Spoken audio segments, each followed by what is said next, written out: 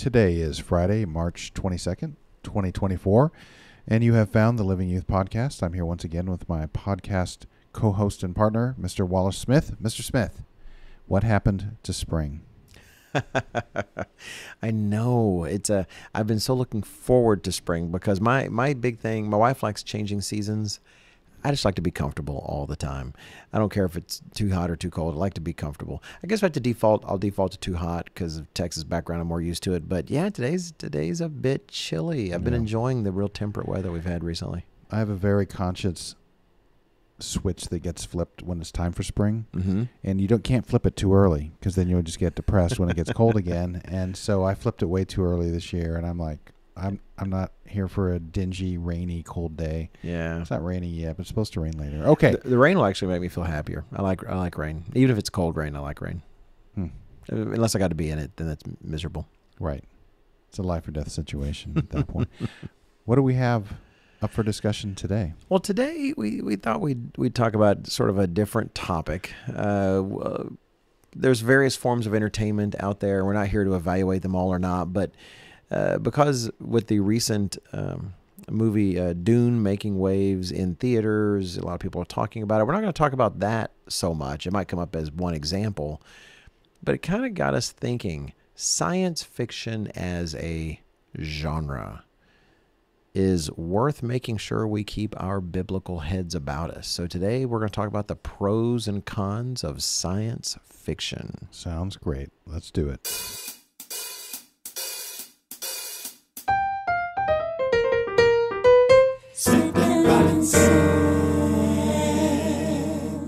Welcome back. And again, you have found the Living Youth podcast. We hope you're happy about that. We're certainly happy about it. And today we are going to talk about science fiction, the pros and cons. There are many genres out there of fiction that people indulge in here and there. Uh, I know fans of Jane Austen and Pride and Prejudice or uh, Anne of Green Gables. Mr. Robinson, I'm sure you were an Anne of Green Gables No, fan. Okay. I like Jane Austen. Did you? Oh, there you go. I know. Actually, I think my wife grew up reading a lot of uh, Little House on the Prairie and stuff. I actually, in, in high school English, did not mind reading a lot of those books that they had you read back then. The only one I distinctly did not enjoy was um, Wuthering Heights. Oh, Didn't like yeah. Is that Charlotte Bronte or? Uh, oh yeah, Wuthering Heights, uh, Heathcliff, and all that. I just found just depressing and awful. That's right. But, But- I, I'm not. It's. I'm sure it's beautifully written. I did not care for the story. And just to be clear, those are not in the science fiction genre. They right? they are not. I'm sure these days there's science fiction versions uh, versions. I know they've got like a, a Jane Austen zombies book and, and other Oh, things. So I'm sure there's yeah. things out there. However, we are not, dear listeners, teens and young adults, here to talk about uh, entertainment on a broad way. That could be an interesting episode. Rather, we want to focus. We want to, and, and I will say, and I think we should wrap up. The advice that I hope we can wrap up with is advice like Mr. Ogwyn gave more broadly with entertainment in general. That when you're trying to understand what should I allow myself to be entertained by, keeping in mind Philippians 4 8 about uh, what we allow, what's good and what's noble, etc. I think in my notes I wrote Philippians 2 8. Let's Yep. ignore that, Mr. Robinson. Uh, Philippians I 4 wasn't- 8. I wasn't going to bring it up. No, you're so good. Uh, but regardless, we want to focus on science fiction in general. You know, if you're out there and you're trying to think about, uh, oh, you know, I just have a little time, I'd like to watch something with my friends. Uh, we want to talk about science fiction as a genre in general. This is not going to be, in fact, it is definitely not an endorsement of any particular movie or franchise or book series, though I think Mr. Robinson and I probably can say I've, I've consumed quite a bit of science fiction and, and definitely including my misspent youth. Uh, Mr. Robinson, I think I know you've exposed some science I, fiction. I read a lot in my high school age and into my 20s, and I, I kind of didn't a whole lot after. Well, I got married and started having kids, and uh, that I might relate to one of our points. I I read less science fiction and more what what would be considered in the fantasy, fantasy genre. Right, right. And some of those principles that we're going to talk about today certainly will apply kind of in that direction as well. But with those things in mind, it's very important. We're going to bring out disclaimer guy because we want to make it very plain that we may talk about things we've been exposed to, but we're not endorsing any of these things. So, disclaimer guy, please come on out of wherever we store you from time to time and uh, and help all of us out and make sure it's plain to our listeners. Any discussion that follows should not be considered an endorsement of the subject of that discussion, unless the subject is the Bible. We endorse that big time. Thank you, disclaimer guy. We sure appreciate that.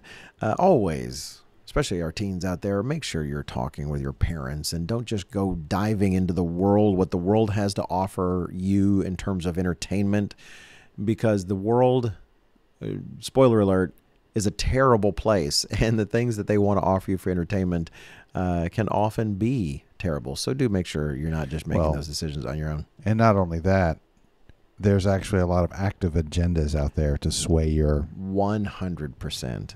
And in fact, we'll we'll probably talk about a few of those maybe as we go over these things.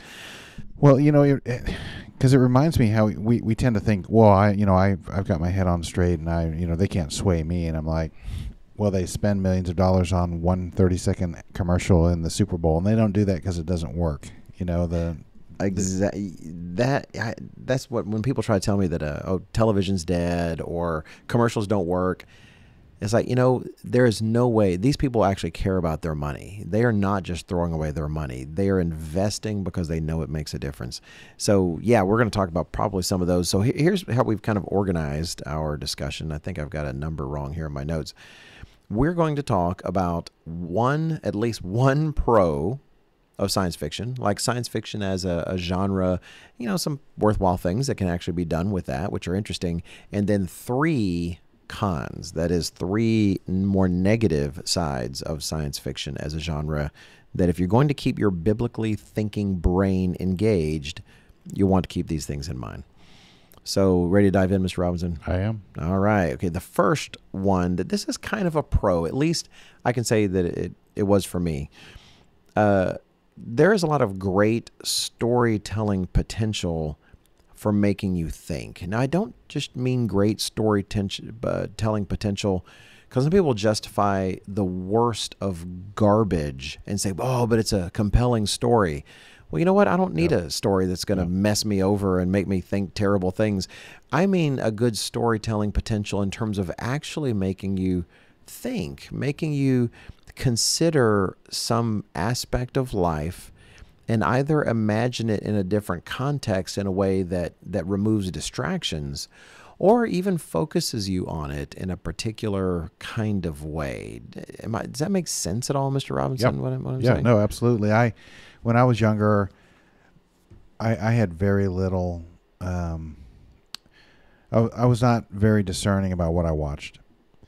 Some things I avoided, but in general, I didn't hesitate to watch. You know, some kind of you know violent action movie. But then, but then as I got older, I I I found I couldn't justify watching certain things, especially if they rose above a certain level. And and I I don't watch nearly as much as many movies as I used to back in the day because even if it's a really interesting, compelling story, as you said, that doesn't mean it's it's good for me. It doesn't mean Right. it. Does, you know, I remember very specifically, Audrey and I had had. It was not by design, but we hadn't seen a movie in like over a year, and it had something to do with us raising raising one of our kids, and like Ella had some health struggles when she was younger, and it might have been that, but we watched a relatively innocuous movie, and I kept thinking about it and dreaming about it that night. Like uh, Really? I, I almost feel like that because I'd been away from it so long that seeing the movie again, sort of I was more sensitive and and that that it did have an impact on me, and it wasn't even anything that was like really. I, I wouldn't imagine being too controversial. No, that that's actually very interesting. It reminds me, uh, uh, my wife can be Janine can be very similar in terms of what she watches. It, I actually kind of appreciate the larger sensitivity because what we watch actually impacts all of us. It always impacts us. I that's part of the theme of ah, I can't remember the the split sermon I gave uh, uh, about fake world. I need to remember the exact title, but regardless, I'll, maybe I'll look it up. Maybe that'd be a good link to add on on livingyouth.org. But it impacts all of us. But I appreciate folks like like my wife who are sensitive enough that they're aware. They're far more consciously aware of how they're being affected by things. It. I, what's more dangerous when you don't know, right? And maybe we can get into some of that. But in terms of a positive example, let me give one I remember reading. This is actually not like a whole novel or something. It was really just a science fiction short story in a magazine that that uh, a science oriented magazine that I used to used to get doesn't exist anymore, is my understanding. But when I was younger, uh, there was a magazine, and it was they they they kind of focused what they considered speculative science. They really enjoyed talking about different things, and they had a short story. It was fictionalized. It certainly was not real because, and that's why it was science fiction. Not only was it fiction, but it focused on science. But it presented this scenario where, say, you had a fella who uh, an older individual perhaps who was dying of some degenerative disease. That is he it was it was definitely some sort of fatal disease. He knew he was going to die and they have precious little time to try to what do they do about that? So in the in the story they imagined that there was a device that could be uh, implanted on his skull that he would just wear where all these sort of uh, optic type fibers would, would be placed in his corpus callosum. That's the space between your left and right brain hemispheres.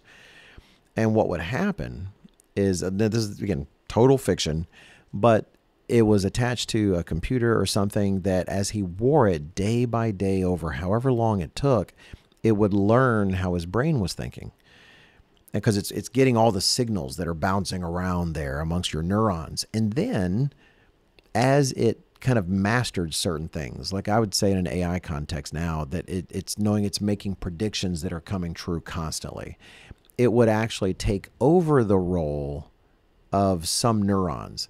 Like if there's a signal coming that's going to go to one neuron, well, the machine knows it's mastered that neuron's response, and so it intercepts the signal and acts like the neuron. So it's it's kind of like having an artificial limb but instead you're getting an artificial neuron. Mm.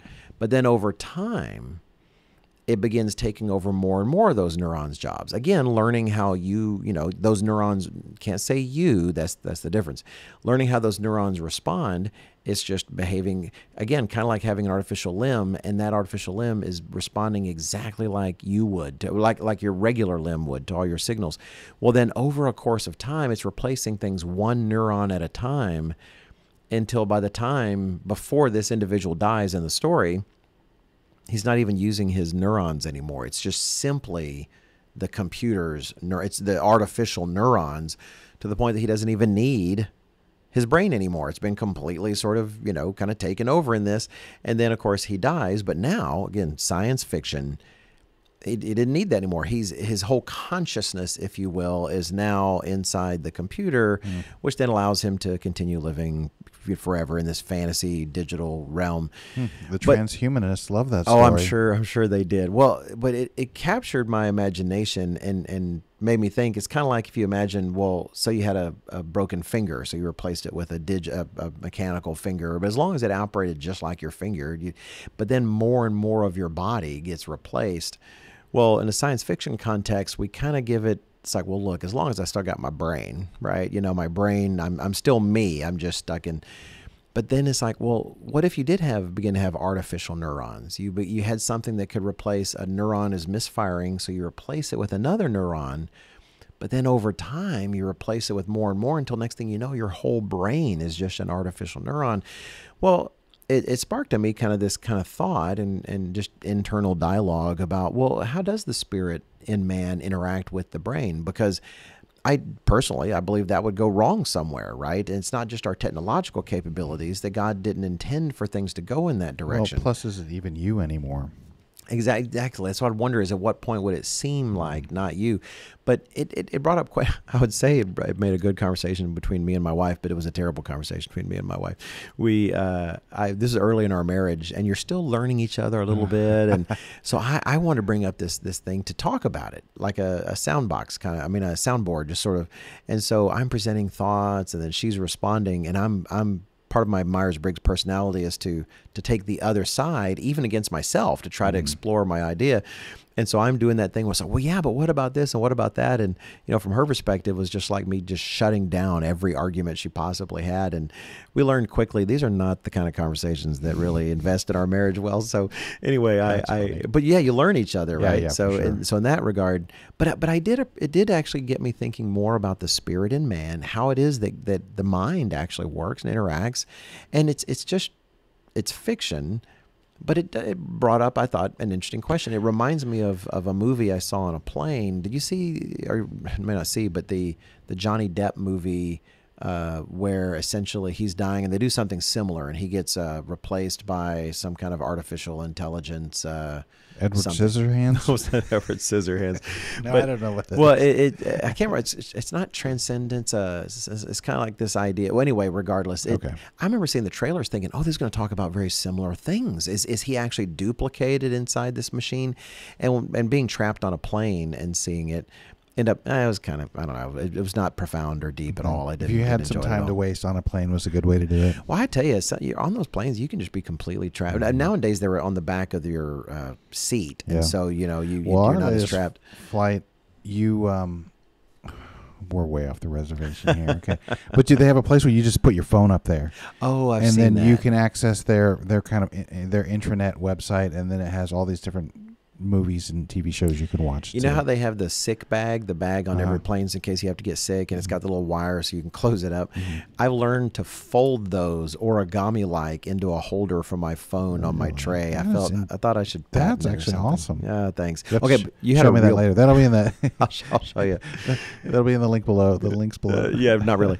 So, but you were going to say something far more worthwhile. What was it? Hmm, I don't. It was about I the neuron replacement thing, or I, I feel like I accidentally started talking. And did I flush it out of your brain? I don't. I don't. I don't. I don't remember thinking I was about What to it make a was? Okay, really? Okay, I thought I saw something on your face that made you think of something you Ah. were going to say. Well, there's a bunch of different directions you could. Oh, I I, I do know what I was going to say. I was going to say, and that I would argue there's even there's a, very much a difference between modern sci-fi and like 50s sci-fi. You know, and older Mm, sci-fi. mm. That it, back then it still was a little more like.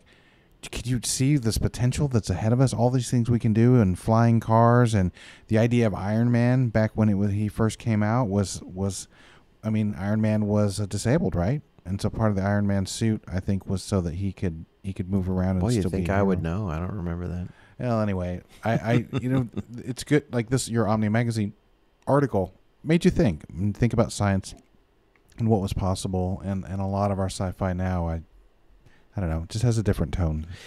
Well, it does. theme. I, I think we're more concerned about uh, potential dystopias to a certain extent, Mhm. but also uh, positive in, I don't know, some kind of different ways.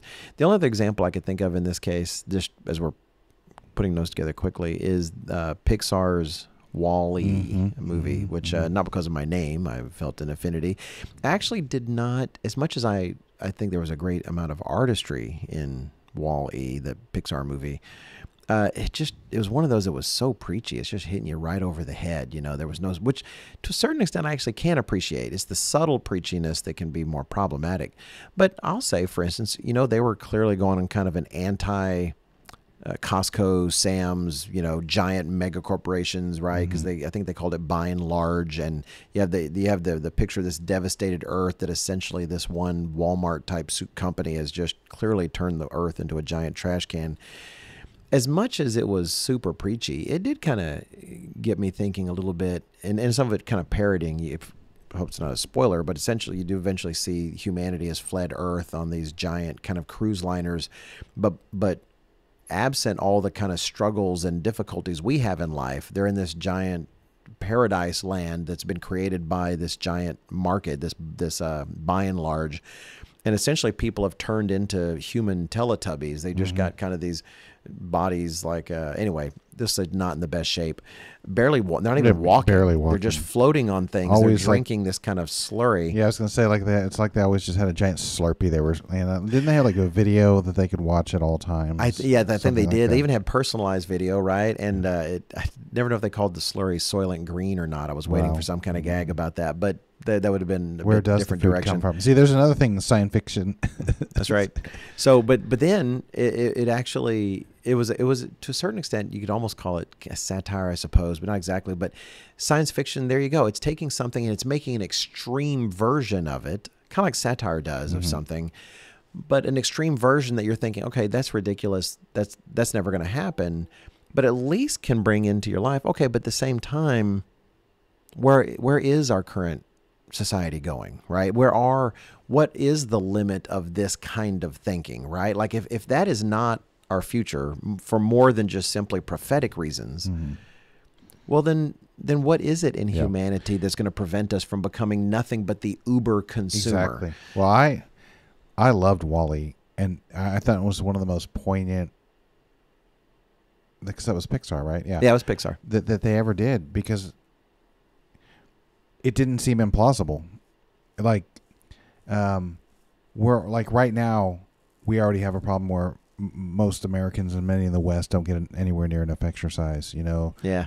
even global obesity numbers are up and we do we are it is kind of a, a consumption type society and we do produce more stuff than we need in some in some respects and and that we could you know if you if you if humanity could could pull it together for you know another thousand years you could actually start to envision a scenario where the earth is just kind of a trash dump maybe maybe not quite the way they depicted it Yeah. but we've had to flee the earth that that's that is a thing that, that is is talked about even now the Mhm. idea that maybe we'll have to leave the earth and and on these like luxury cruise liners and you're just like why even put any effort in when you could just like float around in a little you know jeep A thing Yeah, like a- Wearing a onesie. yeah wearing a onesie Like an infant. They look like just giant infants. mindless entertainment and you kind of lost in some ways what humanity is Right. And so see that's that's that's why I called this a pro because on one hand, if you're going to make that story uh, more realistic and such, we had to think, well, well, exactly how did governments fall, and, and weren't there wars, and is it was it like a you, you could get kind of complicated versus it's it's a science fiction kind of story. You just don't have to worry about those details or worry about the plausibility of how these things came to be. And it did get you an opportunity to examine, like for instance, on one hand, yeah, the Earth is a giant trash heap in that future, uh, but it's easy to be hidden from this because we're in the West. But we in the West are simply shipping a ton of our garbage to other places in the world. Janine was, my wife was highlighting how she read a story about how there are places in the desert where top brands like like uh, of clothes are actually when they don't sell are shipped out there because they want to keep the prices high and they can't afford this stuff to just go into like secondhand stores or markets. And if these high fashion things fail to sell there's simp there's like places in the desert they are just dumping these clothes on these massive piles. And and all what is a lot of that stuff? It's polyester it's a lot of plastics it's just anyway on one hand it's this weird scenario that is doing nothing but feeding our overall kind of market right and uh, a movie like Wall-E has the potential to get you thinking those kind of thoughts. If you're thinking again with a biblical brain where you're not just looking to be fed mindlessly, but you're looking to wrestle with ideas. You're looking to actually reflect on humanity. And, and I think that there there can be a pro with science fiction with some of these I really agree because, um, you know, the, the, what are the questions humanity asks all the time? Well, why is there suffering, and why does God allow suffering, and why couldn't it be this way or that way or the other? So, to me, Wall-E explores. Well, what would happen if we were just babied and coddled? You know, Yeah. and and life was easy, and you didn't have to struggle or do anything. Well, we end up like slug-like people that don't can can't even really walk, just eating and and consuming consuming entertainment. You know, it's funny because the credit sequence for that movie at the end, because they come back. Spoiler for those who haven't seen it, they come back to Earth, and you know, because the little plant is going to grow, and then during the credits, they're kind of showing society developing again, and things are getting green, and the people are getting thinner, and everything's getting healthier. But I know in my mind, watching the credits, I was thinking, boy, what times of struggle and turmoil that would have been. I mean, there are the people that can't do anything, you mm-hmm. know, that are suddenly trying to build civilization again. But yet at the same time, it really does highlight. And it's so funny. I, mean, I just did a telecast on the problem of evil, and as, as a part of that, I came across uh, John Hick, uh, John Hick's work in terms of, from a philosophical perspective, it's amazing how he's kind of coming across. Well, from the '70s, it happened in the past. Ideas that we've understood from the Bible for a long time that that our struggle serves a purpose, a larger purpose. And yeah, you're right. There's a civilization where it's been robbed from them. But at the same time, if you're going to a completely market based world, what does the market want to do for us? It, wants to make your life better. It wants to make your life easier. No one is out there generally, no one's out there marketing product you know, for fourteen ninety five, this will make your life more difficult and actually have you working far more than you'd ever have to to achieve the same results. And so, yeah, you see a world that kind of focus on that. And so, we don't linger on this point too long. We've got other points to make. Science fiction, because it's allowing itself to be imaginative, can kind of narrow on certain things in some of its story exploration to cause you to think some worthwhile thoughts in a way outside of a context that wouldn't necessarily prompt you to think that way Mm-hmm. before. But all of that said, let's get into some of the cons, Mr. Robinson. There's so many. there are, and, and I say we have three. I'm looking at our time. I hope we can get to all three. If not, we'll we'll save one for another time. Like the last one, I think is kind of vague. But the first one I thought of was when it comes to a science fiction story, and this is true of generally. Uh, well, actually, all these can be true of all fiction, but I feel like there's a kind of special role that you see in science fiction. You're dealing in that case with a universe or just a world, the world of the story, in which the author or writer or the director, or whatever the case is, movie or, or book or something, they are in complete control of reality. And therefore, they control in their little fictional world all cause and effect. And why is that important?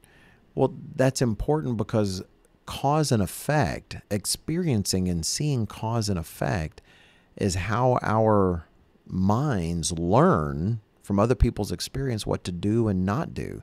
And when you're creating one of these science fiction stories, you're like the the mini god, if you will, of that story. Your characters live and die at your command. The technology works or doesn't work at your command, and you create this world in which you are deciding what the effects are of every cause, which means the stories you have to tell and even the values you want to communicate can be completely mm-hmm. disconnected mm-hmm. from actual reality. I, I think really, if we could, if we only had time to make one point, oddly, I think that's one of the most powerful points to remember. That is entirely somebody's idea of a world, and it's their own. They've written an actual alternate reality, really, that in which they can do whatever they want to in it, and like consequences suddenly disappear. Um, you, you know, like, uh, boy, I don't know what details to use so that I don't get censored.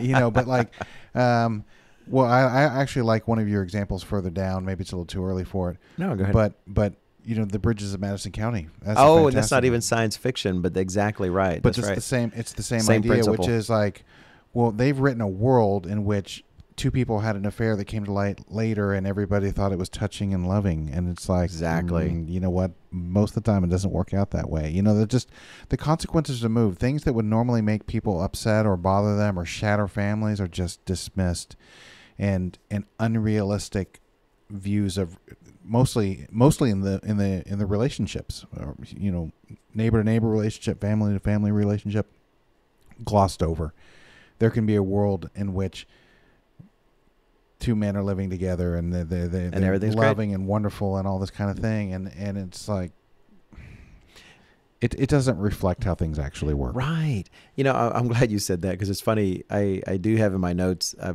The Bridges of Madison County, which is a book. It was a movie with Meryl Streep and Clint Eastwood. And I, I've used that example before. And I, I can't remember who it was that told me. They said, you know, Smith, do you know how long ago that movie was? You really need to come up with some other example. But Mm. I just remember it impressing me for that very reason. I didn't I didn't read it or see it. I just was Well, you- aware of the you story. heard about I, it, I heard, I heard about it. It was a big deal. it's a great was it a, liter- a book first probably Yeah, it was a, a real popular Yeah. book, I think. And but exactly, that was kind of the message of the story was, boy, adultery can really make some things better, can't it? Mm-hmm. right. Sometimes it's the right way to go. And I thought, well, how how demonic. Mm-hmm. But that was what really uh, kind of solidified my thought that yeah, the author of that book had the freedom to create a world because it's completely fiction where the exact wrong thing produces nothing but good Yep. results. Well, so without without being specific, um, let's go into the hero genre for a minute. Lately, there's been the idea of an anti-hero, right? Right. And then it, what's pressed on us is this idea is, well, you know, sometimes you need somebody that's a little dark to come in and, to, and do things, you know, and so kind of normalizes really not a true hero, but but then it gets murky as to who's who. I'll give you two other examples. You already mentioned Dune. Here's one of my problems with Dune in, in terms of being unrealistic. As a uh, story, the as a yeah, story, yeah. Okay. So you have these what 12, 12 noble houses, twelve Are the great 15 houses the great in house, the okay. universe? Yeah. So you know the main one is the Atreides family, and they're they're noble and they try to do the right thing, and we would think of them as good people. And for those who have no idea what we're talking about, the science fiction environment here is supposed to be literally more than 10,000 years in the future. And it's very feudalistic. And so you have home planets scattered throughout Mm-hmm. the galaxy that that uh, are kind of like you'd imagine feudal Europe, you know. And so, Well, so you have these different groups, That's right? a good way of putting it, because like like the Atreides are are patterned after like the Greeks, kind of. Yeah. So it'd almost be like if you took the U.S. Uh, t- took the whole world and took the various ruling empires and split them out off the earth into empires on their own home worlds. Right, And then they- okay, so then you have what are what are really the bad guys, the Harkonnens. And I don't know what the time period is that they're supposed to have been, you know, had their own ruled their own home planet and been these bad guy Harkonnens. But I'm sorry, if it's more than a few hundred years, they won't exist. Like it's not reality that you would have a large collection of bad people that keep working together to fight other people, um, they would collapse in on on themselves. Right. Like like I go back to my go to is um, the Spartans. You know, debatable whether or not they're some of the greatest warriors of all time, but they had some pretty serious problems going on in their nation that I will not get into. And one of them is they love to fight. You know what happened eventually? They didn't have enough men to fight, and they got they got conquered by their their enemies. You, you wouldn't have a multi thousand, and, and this would this goes into other movies as far as I'm concerned. These fi- fictitious movies where there's this idea of well, there's this ancient, amazing empire that lived a thousand years in peace, and I'm like, well, unless human nature has changed, they're not going to live a thousand years in peace. But like the last six thousand years of human history has shown us that that there's only small pockets here and there for a short period of time where things were, were okay or maybe even very good. Um, we've we're actually living in one, have been living in, in one for the last, you know, and even then we still have had plenty of wars and Yeah. and things Yep. but it's fiction that there's these societies out there that live in peace or figured it out. Like I, I mentioned in the show prep, Star Trek. One of my problems with Star Trek is it's humanity moving out into the into the stars, moving out into the universe and the galaxy, and counting these others. But somehow we don't think about it too deeply. We've left the planet not fighting amongst ourselves. We're a unified federation, and we're at peace. We don't really talk about how we've solved our economic and socio-political problems. We just have no money because we've Yep. somehow figured Yep, it out. Figured it all out, and and they're out there interfacing, and I was like, no, we we. Was it was I can't remember what there is a sci- sci-fi book I read a long time ago, and its point was we would never leave the earth as one unified race. We would leave as fighting tribes, and I was like, okay, now that's at least realistic. You know, Mr. Robinson, you are you're actually highlighting a problem with my organization knows today because everything you're saying is exactly things I want to talk about, and yet so much that works really well with the third point. So I'm going to call an audible. Okay, You know, because I, I don't play football. This is the only time I get this to call is an an audible. Amazon That's promotion. Right. That's right. So I'm going to blend point two and point three Okay, together here love it. because I'm going to make a couple of comments that that would be more uniquely point two, but man, it really all does it, it ties into to point three. So the two ideas I had related to the idea that if the author or the creator controls cause and effect and controls his whole world, then what are the kind of messed up circumstances that you can have from that? One of them was actually something I did. I did not read the book, but I, I came across it in a bookstore. I used to just love wandering bookstores, right? And then so much now there's so many terrible things, but but still, I came across a fiction, and it was an interesting idea because I had been interested. And if you read my evolution, the evolution booklet I wrote, I talk about Neanderthals and you know different different uh, varieties of humans that may have existed. Uh, definitely after Adam and Eve, if they're humans. So we're not talking about trying to validate any kind of uh, prehistoric ideas beyond that.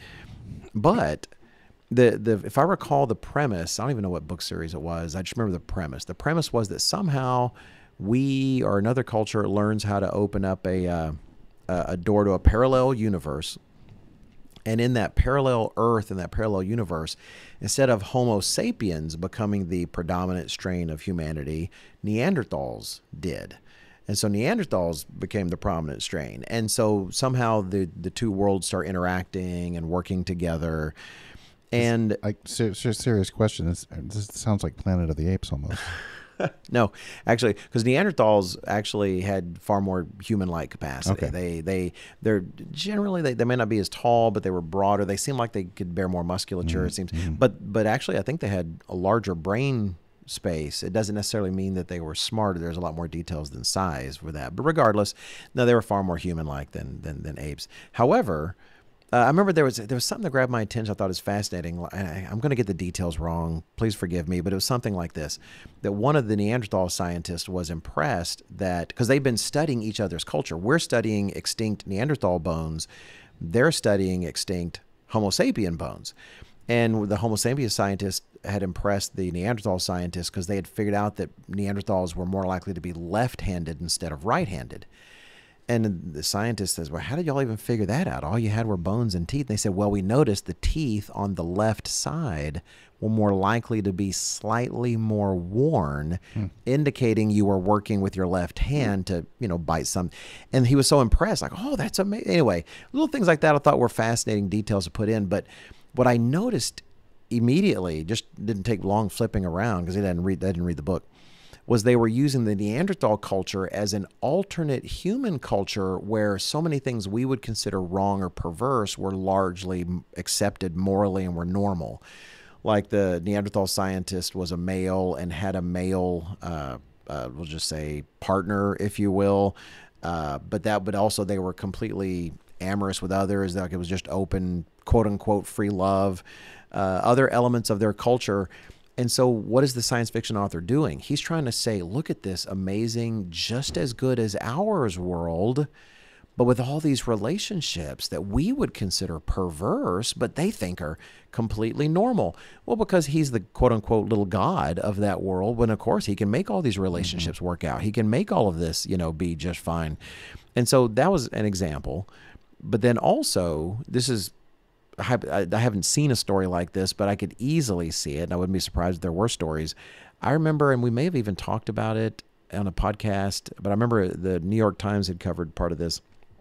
That with the growth of AI, they're looking at this potential of people uh, find, you know, having partners, quote unquote, like spouses, if you will, that are really just these AI apps and programs that are chatbots. And and there was a, I think it was New York Times article. Last time I said I thought it was New York Times, it was a Wall Street Journal, but I think this was a New York Times about in, in a particular subculture in Japan where people were doing this. You know, they're lonely or whatever, and they're they're essentially building these fake fictional building up these fictional characters as if this is their life partner. One guy had even quote unquote married his because they were they could find software that pretends to be that person in an AI kind of sense. And and and the article was talking about how some say it's really you know potentially improved their lives but has it really? But you could easily see a sci-fi guy as AI is growing trying to create this environment where AI is so realistic, right? It's so it's just like a person. In fact, I know there are stories like this where they they truly fall in love. Isn't love between two minds, right? You know, so they create that, but then is it really about AI? Or are they trying to get you to think in those kind of directions? Like, mm-hmm. does it make a difference what the other person looks like? Or if they're even human, does it make a difference? Well, in that world, they can make it seem like the most positive thing ever. They can make that AI companion the most loving and the most caring, and the person gets over their problems. But again, they're creating that world. It's not a real world. That's not real cause and effect because they're completely in charge. And all the more, what you were getting to, to blend in what was going to be the third point, uh, or yeah, third point especially when they're devoted because most science fiction worlds are a world where what? It's all humanism uber alles. People are what matters. There's no god you really have to worry mm-hmm. about not in reality. And so therefore some of the things they have to say are even contrary to god. And the verse that came to mind like you're talking about they can say oh yeah out in the future like in star trek mankind it went through hard times but it solved all of its problems. It doesn't even use money anymore. Like there's tales of the federation officers like oh you use money in your world. That's crazy. Well jeremiah 10 and verse 23 highlights to us what jeremiah says to god oh lord i know the way of man is not in himself. It is not in man who walks to direct his own steps. And yet, the fundamental thing of so many are, the, these sci-fi stories are mankind figuring out his own way mm-hmm. and actually mm-hmm. as if somehow it is in man that was gene roddenberry the guy that created star trek that's kind of what he wanted was to picture this sort of idyllic future human society yeah. where we are all that yeah. what if we could don't think about it too much pull our pull our get pull our get our act together as humanity and go out into the stars and explore. And when they're creating the own result, they can, they can make a fake history like that, and they can create these scenarios where aliens are having difficulties, just like we humans used to have. But it's the wise Captain Kirk and his crew. I'm not even trying to knock them, but it's it's the wise humans who arrive and help them find their way. Well, I watched clips of Picard Oh, the newer mm-hmm. series on Paramount. Mm-hmm. And it was fascinating because oddly they don't try to pretend like morality's any different than it is now. But somehow I think they've given up on a, some of that. Well, yeah. because you know, it turns out Captain Picard and Doctor Crusher had a child relationship, had a child, and she didn't tell him about it, and it's like the same stuff now. And it's like, so they're just we're just over it in the future, and, and that's you, you know like all the problems that we have now are problems that they have in the future, but how is it that we just magically all get along together and we don't fight amongst ourselves?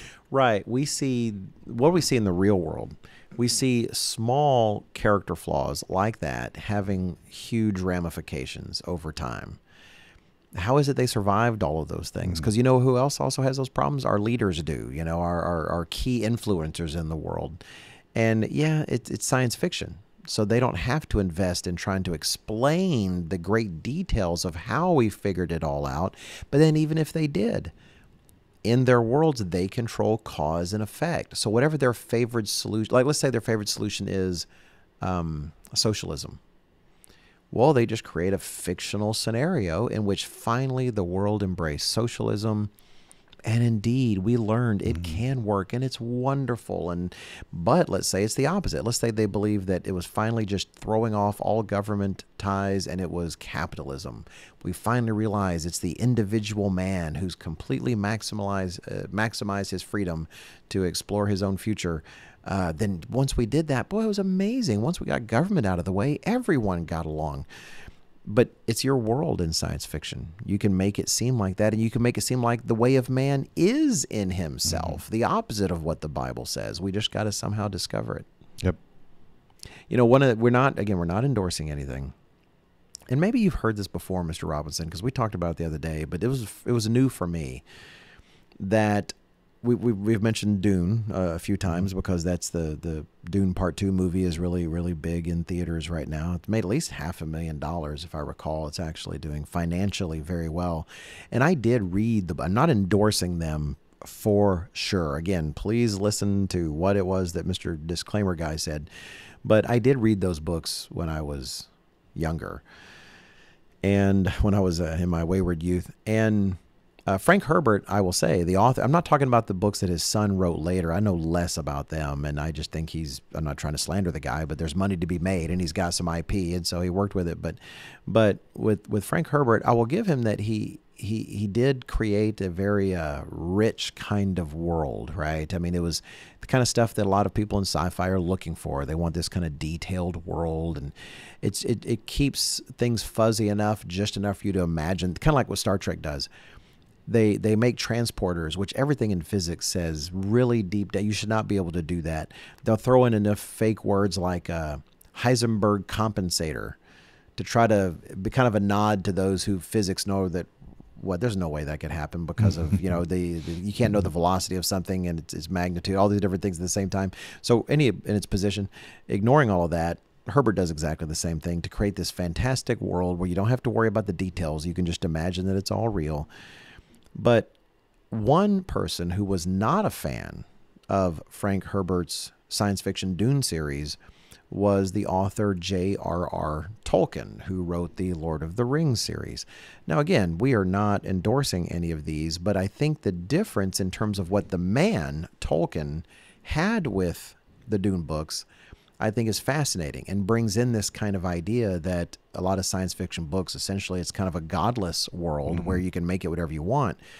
Tolkien uh, my understanding, I could be wrong, but from what I read, what he really did not like about the Dune series was that unlike what he tried to do with the, the, the Lord of the Rings books that he that he wrote, is he felt that part of what he liked about his own work was he tried to highlight what is good and noble in people and how it's it's noble for man to struggle against evil and the virtues should be what's celebrated. The virtues that that that we long to have should be highlighted as examples. And so he he was very much tales of of obvious good fighting obvious evil, and tales of uh, of, of, of that that really make the heroes virtuous, right? And their flaws were were actual flaws. But he said again, as I've read, I don't know if it's accurate or not. I'm not a Tolkienologist because I do think there are people who, who do that. But Frank Herbert's world is not that. It, it, I remember from my days reading it when I was younger, there really, in a sense, is no actual virtue. It really is a matter of just simply politics and intrigue and and the kind of almost kind of realpolitik in a sort of Kissinger kind of way. Um, it really is just about power and what people do with power. And the closest thing you get to an absolute virtue is the kind of sense that, for spoilers for those who might read it, and I, am not even saying you should. I'm just, you know, I just keep in mind. I just feel bad about spoiling you're, stories. You're definitely saying not saying you should. Yeah, thank you very much. Um, but I know by the time I remember, I used to see the cover of this book all the time when I was a kid in stores. Of it looked like a giant worm with a mm-hmm. face. Well, that's where you're getting into the fourth book, where mm-hmm. Paul's son has become a giant worm mm-hmm. man who has lived for three thousand years. That's where I checked out. well, I actually remember writing my English paper thesis when I was in high school on that character but part of the one thing I liked about him was this sense of self-sacrifice. I was really into characters that that that that sacrifice themselves for others. But if I if I look back at it really coldly, and I say coldly, I mean in the right kind of way, where I'm trying to take my emotions out and bring in the right kind of values. What was his sacrifice? Well, becoming a despotic, terrible emperor of the entire universe for 3,000 years so he could crush mankind so desperately and so horrifically that by the time he finally dies, mankind will become an evolutionary success by, by fleeing his crushing rule out into the stars so that the hard times would come that would force them to be. It's almost like taking this guy and making him the anti Jesus, mm-hmm. who did, Jesus Christ in reality, did sacrifice himself, but as this humble servant who actually came with love and wanting to help, versus this despotic ruler who had to control mankind for three millennia and crush all hope and, and cause fear everywhere. But again, you're a science fiction writer. You can write a story where that guy's choice to become the the universe's worst despot and most bloodthirsty villain for 3000 years is actually the wise choice is actually the good guy choice and that's what we're getting at that's they can completely ignore reality and do do yeah. whatever they want yeah. well i mean um, some of the press for the movie they've talked about how can't remember where all this came from, but but originally Frank Herbert was disappointed with fan reaction to Dune because people liked Paul Atreides, and ah, that was ah, not really? how he wanted it to be. He um, and they point out, especially when you get to the second book, that he's supposed to be a warning of messiahs. Like the, the messiahs coming along is is is not a good thing, or right. You know. And so then he wrote his he wrote his world to be like that. That that it was a bad thing and so, in that sense, I mean, it's literally the opposite of, of reality with what the true Messiah has done and the sacrifice he's made. I know you just made that point, but, you know, the other thing, because I completely agree, I'm always reluctant when people want to group the Lord of the Rings series in with others because of that very important distinction. And even um, Canadian author and clinical psychologist Jordan Peterson. he was not a, he's not a, the biggest fan of of um, Tolkien's work because he thought it was too simplistic, too hmm. simplistic. Mm. Too what what is he really saying? He did not like how clean the good and the evil was, and Hmm. and I I found that actually one of those things was actually disappointing about his take on it. And uh, you know, having listened to him uh, plenty, I can understand why he he's going to be more interested in the nuance and people's flaws and all those kinds of things. But it's not like Tolkien doesn't point out that there are flaws with his characters, Right. Because he does. Hmm. But it, it is, I loved it that it had very very clean good and evil, Right. and you didn't have to you didn't have to wonder about things. I mean, the only thing was was maybe Saruman, but even then he was kind of a warning about how power and can corrupt people. Interesting. You know, in in terms of sci-fi, I, you know, people people who know me know that I grew up with Star Wars. You know that that that, that was a big part. I mean, 1977, I was in line like a whole lot of people were. You know, to to see it. Plain Truth magazine uh, way back when I think even had a, a Empire Strikes Back. I don't know if it was a cover article, but had a main article about the the sequel, the, the you know the second movie's Empire Strikes Back, but that was actually one of the things I liked about too. That actually George Lucas said he was trying to do. Now, of course, he I don't think that he believes in religion, actual religion anyway. I have no idea, but he felt that we a culture needs stories where there's good guys and bad guys. And so he was trying to make a story in which there were clearly good guys and there mm-hmm. were clearly bad guys. In fact, I remember, and I'm not I'm not knocking her for this. In fact, she might even listen to this because she listens to the podcast. But I remember my future mother-in-law having a critique that I disagreed with, though I understood where she came from. And maybe she and Dr. Peterson would be in line here. She didn't like that in the third Star Wars movie, The Return of the Jedi, that the Emperor was so obviously ugly and cruel, and and because she said real evil, and she has a point. Real evil doesn't come across as ugly; it comes across as seductively good. It comes across as handsome, and and so she thought the Emperor should have looked not so hmm, ugly. Yeah. but should have looked more handsome and appealing. And I totally am sympathetic, kind of like maybe in a in a Jordan Peterson like way. However, I'm glad he didn't do that because that's not what he was trying to do. He wasn't trying to make the uh, the bad guys are actually good, but but seem bad, and the good guys who, uh, sorry, the the bad guys who are bad, but they seem good. No, he wanted good and evil to be blatant. He wanted these things to be kind of obvious. He wanted a simple story for children, really, where there's good guys you root for and they're brave and they're loyal and they they, they love their dad like you know Luke does and even though his dad's a bad guy. And the bad guys are bad. And you don't want to be like the bad guys. You want to be like the good guys. And not everything has to be really subtle. So I'll kind of give him credit that he it was a simple story. But you know part of what we need are stories that highlight virtues that aren't all that complicated. And uh, hopefully we don't have to use sci-fi to do it but if we're rearing children hopefully we're pointing out to people you know exemplars like jesus christ is definitely an exemplar but of various characteristics uh, versus characters that can be more complicated but then digesting them you know for people so ah we've kind of gotten far afield but hopefully profitably so um, yeah, just be aware of that. That when someone is writing a, and especially science fiction, because it gives you so much room, you don't even have to obey the laws of physics. You literally control everything. The example that I used to give, I'm not sure it's effective, but in my mind, if you want to write in your story, well, as the man picked up the apple, he lifted it off the table, and as he let go of the apple, it stayed suspended in the air with no string, you know, no, uh, just simply hovering over ab- above the table with no ex. You can write that because you're completely in control of that world, and you might think, "Oh, I understand. It's it's it's fiction. I understand," but no, your brain is taking these things in, and it does have an impact on you. And most of these guys do have a moral story to tell these Yeah. days. They do have something they're trying to Well, that's another of. question, though.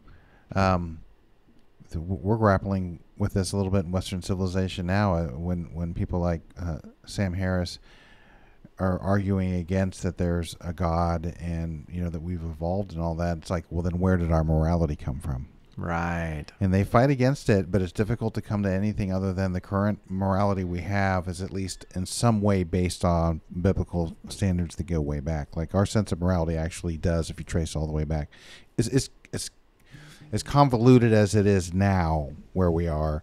Any sense of morality traces back to God, Right. And so, like in these others, in these other, doesn't matter, you know, your Star Treks, your Star Wars, whatever. So at least Star Wars has more of an idea of some kind of afterlife but where does your where does any morality come from, and why wouldn't it be every man for himself? I mean, this brings in a number of like you- could talk about these for a while, but I I don't think it's necessary.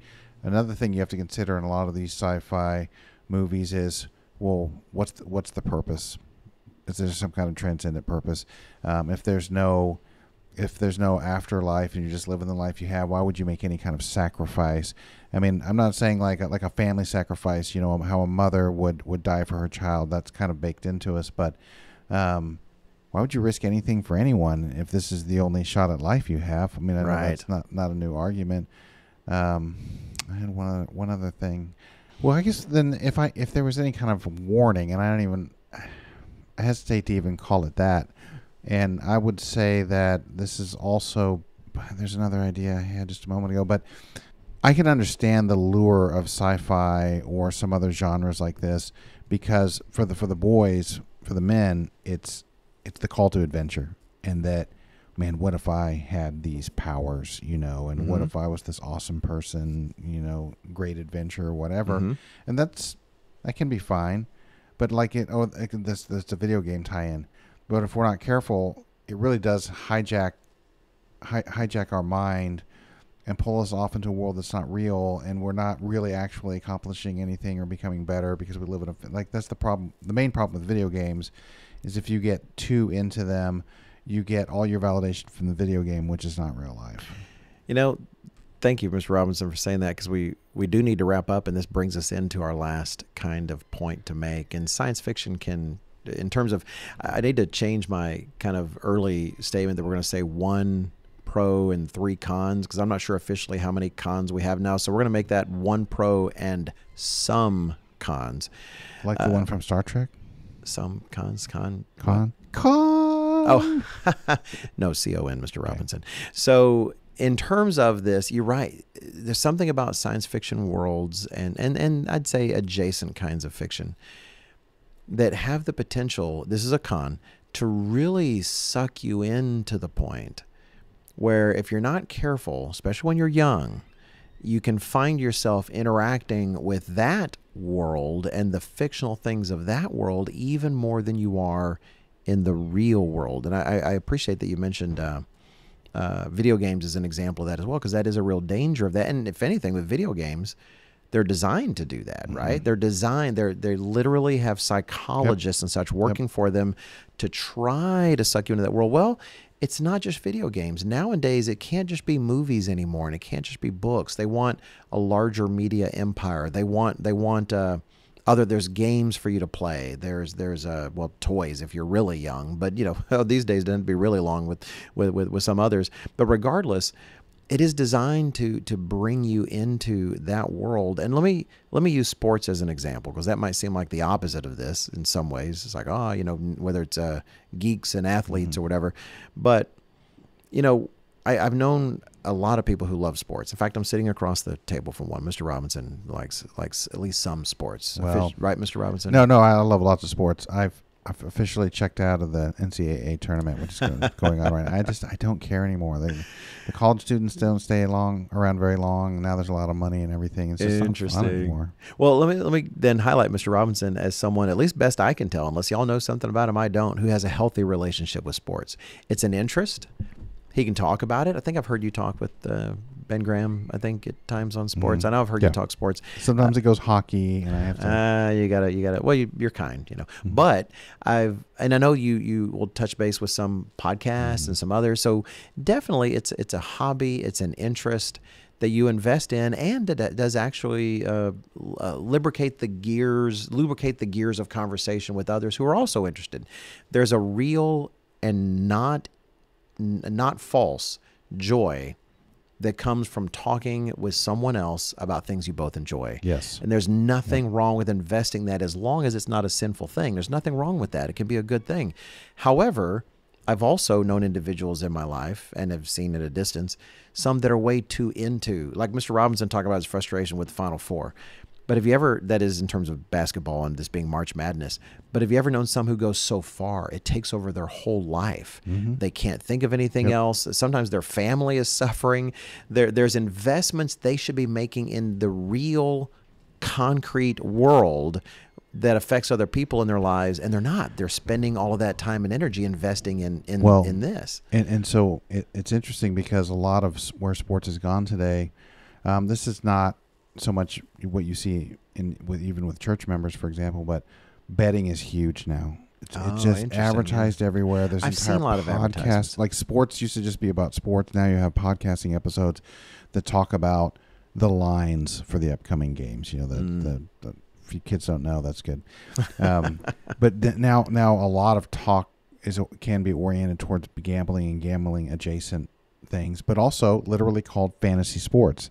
Now, so as not to be a hypocrite, I I participate in one fantasy league. I do a football league, but it doesn't take a lot of time. Yet, to your point, people can become obsessive about it, and then they're in a lot of leagues and in every Ah. sport. You know, and you can just be round the clock all year long because of the sports schedule goes Wow. you know year round and um, that's another way you can get pulled into something that can take up a lot of your time no, and not profitably in that way Well, good. Well, that that's that's validating. Thank you, because I thought sports would be a good analogy as something that's not evil in and of itself, but you can you get caught up. Well, science fiction can be the same way. Look, again, I you know, people know that I grew up with Star Wars and that it was you know that it was something important to me when I was young in terms of the what I enjoyed my, and and, and uh, uh, the fiction that I enjoyed. But that said, it's one thing to really enjoy something a lot and to be able to talk with others who enjoy it and have a good conversation, even to talk about, oh, I wish George Lucas had done this, or I can't believe they're, I can't believe Disney is ruining it, you know, in all these other mm-hmm. ways. I, I enjoy those conversations. But at the same time, I you can invest so much in something that that yeah you could you could go at the drop of a hat and talk about how you know the way that the physics of kyber crystals uh, really helps to regulate how a lightsaber functions in this way or this way. And here's a and, and what you can color it is. And exactly you can be invested in those kind of things so much when in reality there are no kyber crystals but there are real people and real things in the world and there's real places that you can go and we have to make sure we're balanced because the creators of this media they don't care if we're balanced or not in fact, if we want to spend all of our time and money in the worlds that they create, they will take Mm-hmm. Yeah. every single dollar and to second accept we your have. donation. That's exactly right. So, it's some, there's something about these kind of fan, fantastic worlds that are created that really can draw people into the point where they they they risk doing what I think Mr. Weston called once living life as an avatar Well- instead of not I don't mean like the movie Avatar, I mean like an icon that's that's fake, as opposed to being you and learning how to be you in the real world. yeah well you just reminded me of harry potter um, didn't read any of the books saw clips of some of the movies but you know Jordan Peterson, since I already mentioned him, I can I can mention him again. Um, he thinks that that whole phenomenon is fascinating because he says anytime something is written by somebody that makes her richer than the queen, talking about the author, we should we should at least study that and understand why. But you know, Harry Potter at its peak was just absolutely huge, and people were obsessed by it. It was and, crazy. and and all, wanting to live in this fake, you know, Hogwarts style world and everything and it, that was that was a great example of just leaving reality behind and wanting to live in, a, in an alternate universe that would never happen in a million years. And and and in a world where what is the world starting to say? Hey, you know, live and let live, man. You know, hey, yes, this guy has his his uh, his his he has no he has no uh, family or friends or anything. All he has are these fictional characters from Hogwarts or whatever. But hey, if that's if that's his jam, you know, that's his jam. And and God would say, no, I actually want to give you in the future the real universe, the actual universe. But to give you that, I need I need you to learn how to live in this one now, the one that I gave you, not the one that J.K. Rowling made up. We could almost do a whole podcast on themes that are in a lot of that they're not all of them, but you see these themes in various ones. And for example, so not just not just Harry Potter, but I we've noticed this in other science fiction works. There's no parents. Right. Not uncommon, and, and but somehow the kids successfully navigate through everything and figure it out, sometimes on their own. Even. Yeah. So, anyway. Yeah, the, you know what we Wow. Okay, maybe we, we put we'll put a bookmark for this one because that is a great idea. Maybe we should do a podcast on the the uh, kind of like Disney, the the wonderful world of parentless children, Yes. which is really a vast fiction world. Oh wow, Miss Robinson. Okay. Instead, we need to wrap up because someone's about to be downstairs to pick us up. Uh, how do we want to wrap up on this? Again, it would be hypocritical for us to say that oh you know just never you know don't enjoy any sci-fi. We have enjoyed various little stories here and there. We, we certainly have. However there's never an excuse never never never to not have your biblical thinking brain on. You want to keep in mind how even your fiction is impacting you and the thoughts that it's stirring in you. And you want to watch or listen or read to things with your biblical brain engaged and thinking asking well how would jesus christ even think about this you know what what what, what are the thoughts i should have not just what are the thoughts they're leading me to have and i i can't help it whether it's I, I do think it's directly related because some of you out there are trying to make choices about your entertainment whether it's science fiction or anything else and i thought how can i beat going out with a Bible verse. Uh, and so, Mr. Ogwyn, when he was asked Spokesman Club once about how do we make decisions about our our choices in terms of fiction and entertainment, he didn't kind of go to some blanket thing one way or the other. He didn't go to uh, oh you know always do this or don't do this. He uh, go figure. He pointed us to the Bible, Mr. Robinson, and he pointed us specifically, as I mentioned at the beginning, to Philippians four eight. And he said, let this be your guide in making those choices. And I think, how can we do better than leaving you with the same thing? Does the Apostle Paul write to us in Philippians 4 8? He says, Finally, brethren, he doesn't say teens and young adults, but you're in there too. Finally, brethren, whatever things are true, whatever things are noble, whatever things are just, whatever things are pure, whatever things are lovely, whatever things are of good report, if there is any virtue, if there is anything praiseworthy, meditate on these things and we recommend you do just that. Smith and Robinson.